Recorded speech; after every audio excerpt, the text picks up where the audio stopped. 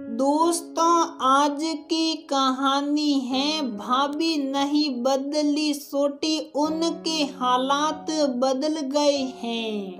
दोस्तों, कहानी शुरू करने से पहले अगर आपने हमारे चैनल को सब्सक्राइब नहीं किया है तो सब्सक्राइब कर लीजिए ताकि आपके पास पहुँचे हर नया वीडियो।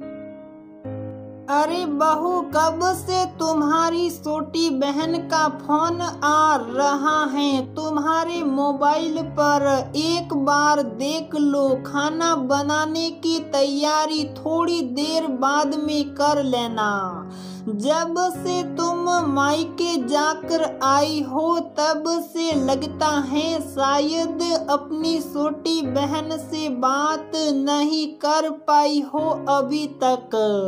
घर के काम तो सारे दिन चलते रहेंगे। एक बार बात कर लो अपनी बहन से। वह भी तो काफ़ी दिनों से मायके नहीं जा पा रही है। इसलिए हो सकता है तुमसे बात करके। अपने मायके की यादों को ताज़ा करना चाह रही हो, वहाँ के हाल साल जान कर तुम दोनों का तुम्हारी माँ के जाने के बाद वैसे भी अब कभी कभी ही मायके जाना। हो पाता है। तुम भी इस बार काफ़ी दिनों बाद मायके जाकर आई हो। इसलिए तुम्हारी छोटी बहन उतावली हो रही है। तुमसे मायके के समाचार जानने के लिए जाओ, पहले उससे बात कर लो।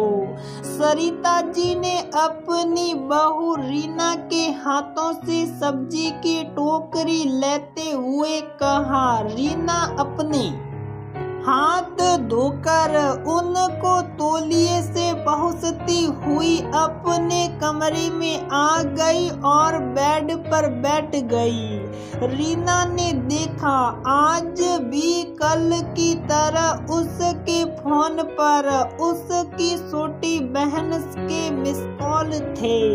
रीना अपनी छोटी बहन टीना के स्वभाव को बहुत अच्छे से जानती थी, जहाँ रीना एकदम सीधी सादी और मिलन सार थी सबके हालातों को समझकर उनके दुख दर्द बांटने वाली थी। वही टीना तेज और मतलबी स्वभाव की थी।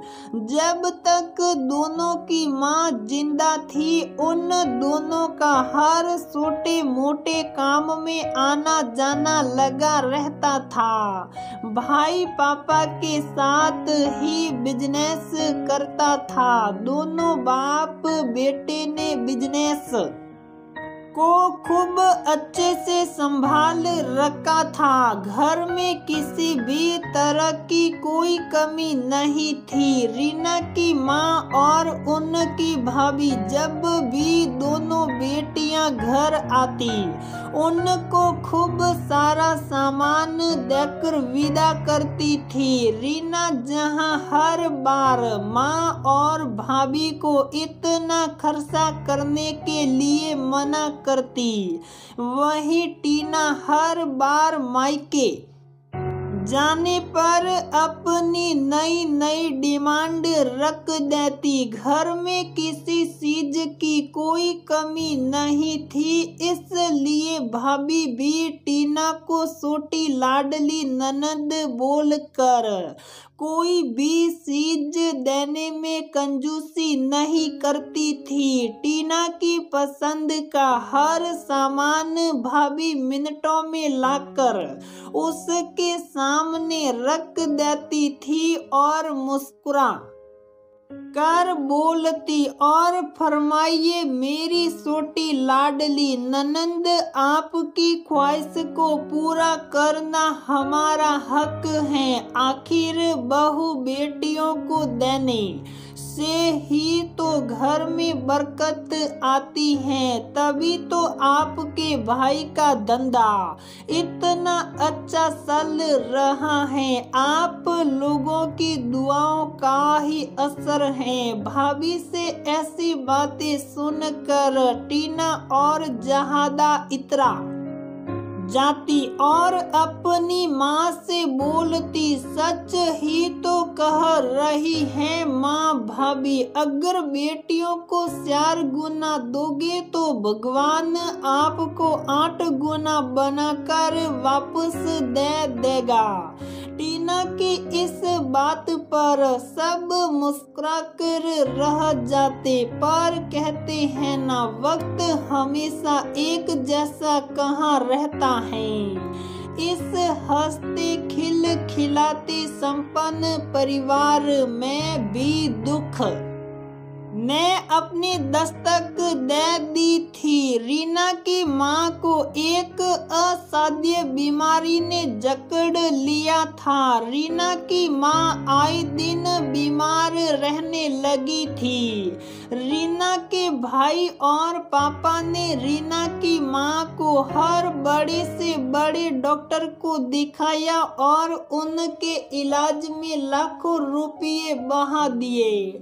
डॉक्टरों को दिखाने के लिए कभी रीना के पापा को, कभी भाई को माँ के साथ जाना ही पड़ता था। सारे दिन हॉस्पिटलों के चक्कर में सब बिज़ी रहने लगे। तनाव और अवसाद में दोनों बाप बेटे बिज़नेस में भी ध्यान नहीं दे पा रहे थे। बिज़नेस भी धीरे धीरे डाउन होता जा रहा था और ऊपर से रीना की माँ की बीमारी में लाखों रुपया खर्च हो रहा था, लाखों।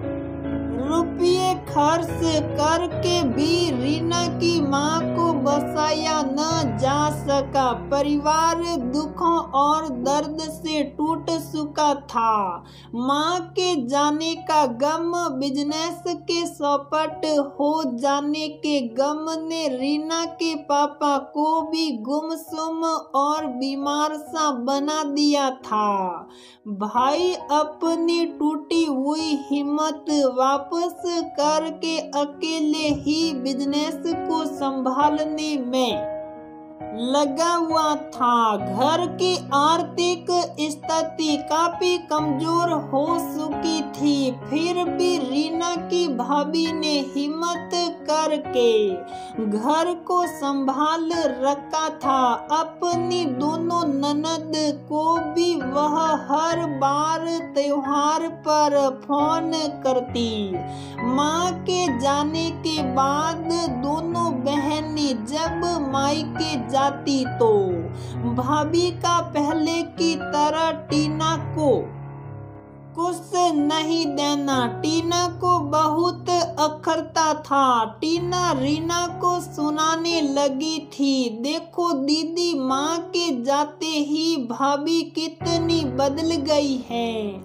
बस माँ के सामने हमारी सापलूसी करती थी ताकि उनकी नज़रों में अच्छी बन सके। अरे जैसे ही माँ गई, देखो भाभी भी कितनी बदल गई। अरे विदागिरी में आजकल भाभी ढंग की दो साड़ियाँ भी नहीं देती हैं हमको। पहले तो माँ के सामने तेल लगाती थी हमारे और।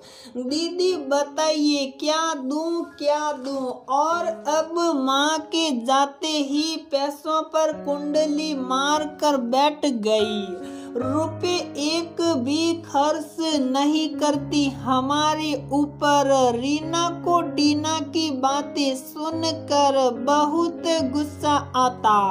वह टीना को बोलती टीना तुझे घर के हालात के बारे में पता नहीं है। क्या माँ के ऊपर लाखों रुपये खर्च हुए हैं? भाई का बिज़नेस सौपट हो गया है। पर टीना का तो एक ही जवाब होता, रहने दो दीदी।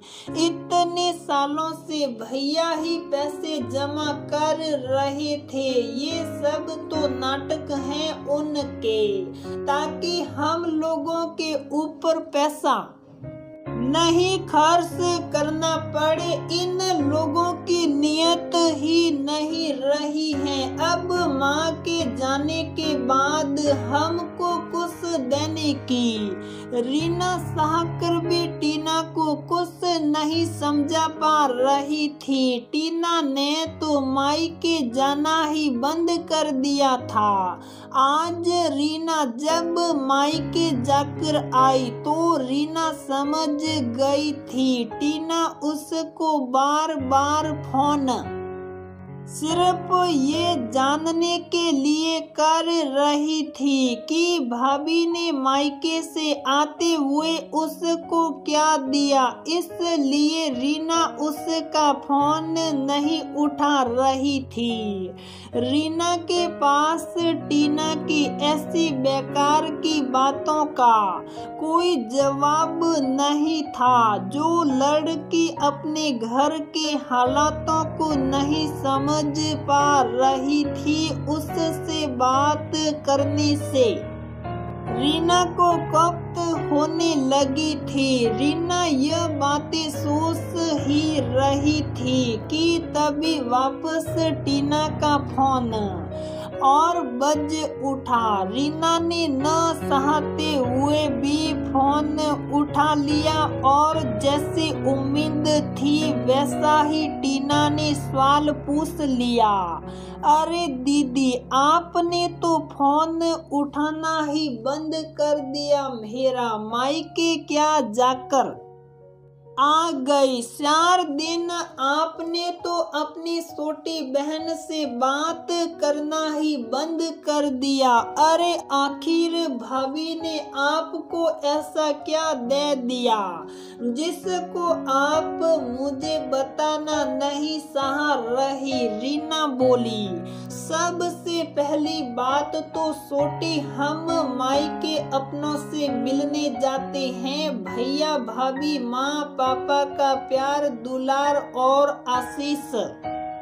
इन सबको अपने अंचल में भर कर लाते हैं। सामान लेने नहीं जाते हैं, पिहर। अपनी जड़ों को अपने प्यार से सिंचने जाते हैं, पर तुम क्या समझो इन बातों को? तुम्हारे लिए तो मायके जाना मतलब मायके से सामान की गटरी भर कर लाना होता है बस। तुमने रिश्तों को कभी जज्बातों से जोड़कर देखा ही नहीं, सिर्फ़ कीमती सामानों से रिश्तों को जोड़कर देखा है। अरे तुम्हें भाभी का तुम्हारे लिए प्यार और अपनापन नहीं दिखता। तुम्हें तो बस भाभी की दी हुई महँगी महँगी साड़ियाँ नज़र आती हैं, जो अब वह तुमको नहीं दे पा रही हैं। उनकी आँखों में छुपा हुआ ढेर सारा प्यार तुम्हें। अपने लिए नज़र नहीं आता।